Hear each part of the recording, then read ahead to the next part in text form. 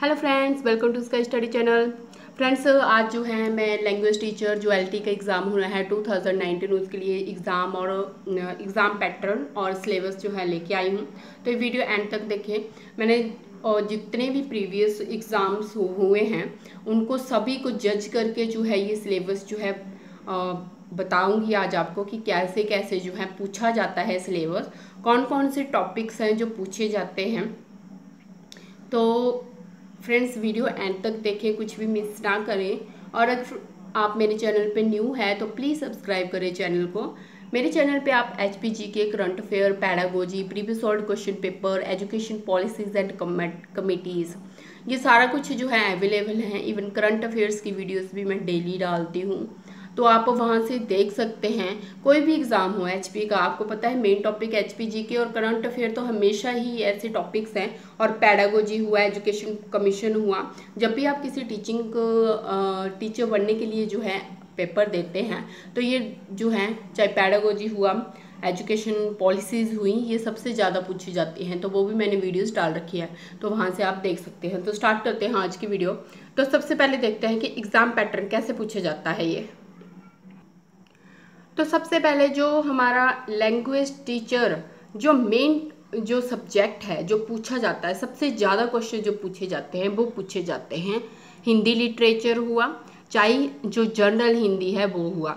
Hindi literature means Hindi साहित्य। इसके बारे में आगे बताते हूँ, कैसे कैसे पूछे जाते हैं। सेकंड जो टॉपिक क्वेश्चन जो पूछे गए हैं लैंग्वेज टीचर में, वो है सोशल साइंस से रिलेटेड मतलब कि समाज से, सामाजिक अध्ययन से रिलेटेड सामाजिक जो साइंस है, उससे रिलेटेड पूछे गए हैं। और इसमें मेनली जो है आपके कौन कौन से जो मेन सब्जेक्ट्स हैं मेन मेन टॉपिक्स कौन कौन से हैं, वो मैं आगे बताऊँगी। नेक्स्ट है साइंस साइंस में आपके पूछे गए हैं जो एवरीडे साइंस जो हम डेली यूज़ करते हैं साइंस क्योंकि आपको पता है, साइंस तो हमारी डेली यूज़ होती है। जैसे हम, कौन से, जैसे आपकी हार्ट बीट के लिए आप कौन सा इंस्ट्रूमेंट यूज़ करेंगे हार्ट बीट मापने के लिए मैयर करने के लिए। तो ऐसे ऐसे क्वेश्चन पूछे जाते हैं या फिर ये डिजीजेस किसकी वजह से होती है? वायरस हो गया बैक्टीरिया हो गया प्रोटोजोल्स हो गए। तो वैसे वैसे क्वेश्चन पूछे गए मतलब बेसिक्स क्वेश्चन जो है, पूछे गए हैं। नेक्स्ट है pedagogy and CDP main topic इसमें भी पूछे गए हैं पैडागोजी और चाइल्ड डेवलपमेंटल साइकोलॉजी जो है इस पर पूछे गए हैं क्वेश्चन हिस्ट्री ऑन एजुकेशन पे पूछे गए हैं. National committees on education national committees in Hindi Hindi में जनरल हिंदी के पूछे गए हैं क्वेश्चन जैसे आपको टेंथ लेवल के जो हिंदी है, वो पूछे गए हैं. कौन कौन से टॉपिक्स हैं वो मैं आगे बताऊँगी.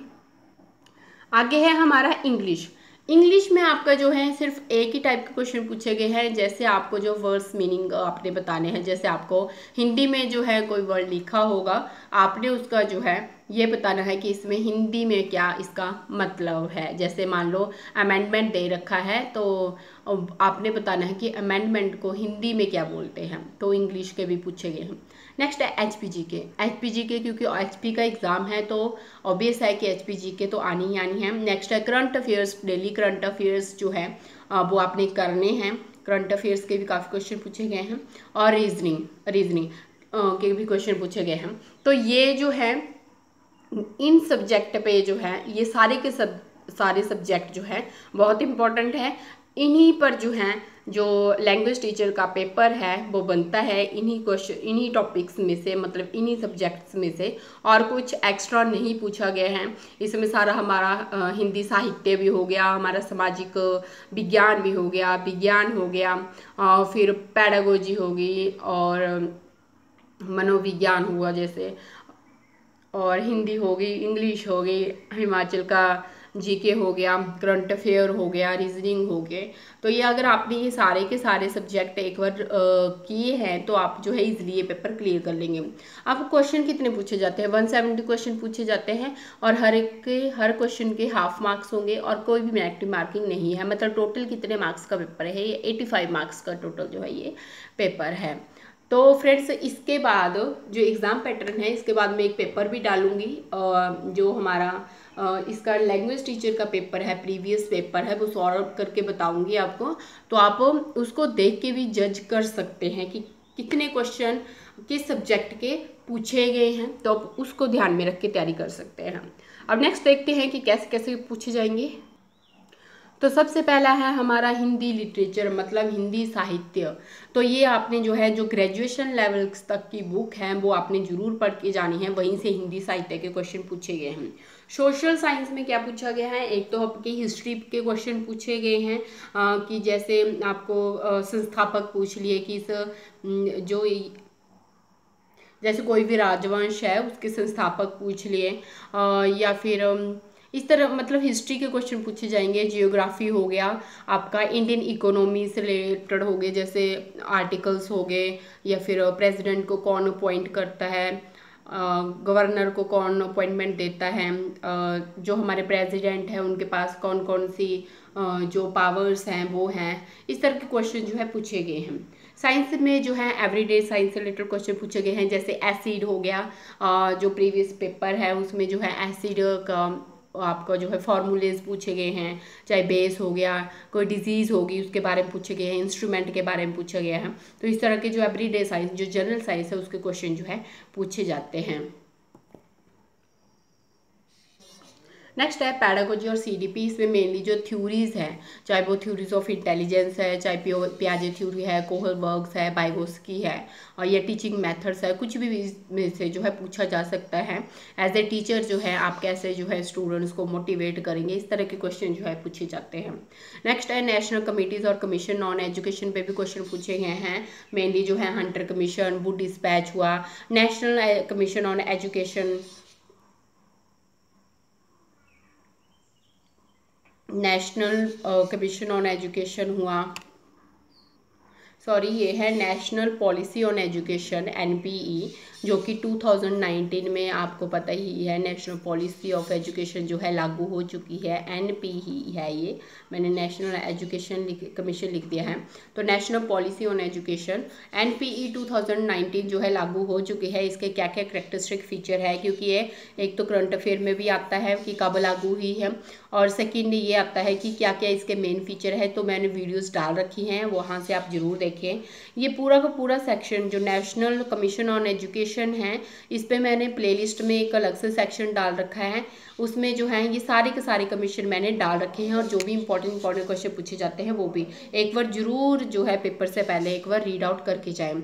आरटी पे राइट टू एजुकेशन पे क्वेश्चन पूछे गए हैं। तो ये इसमें भी पूरी की पूरी वीडियो बनी हुई है तो आप देख सकते हैं, आपको बहुत हेल्प मिलेगी, क्योंकि अगर बुक से देखोगे तो आपको जो है क्वेश्चन ढूँढने पड़ेंगे कि कौन सा क्वेश्चन बनता है। मैंने ऑलरेडी सॉल्व करके ये क्वेश्चन डाल दिए हैं तो आप देख सकते हैं।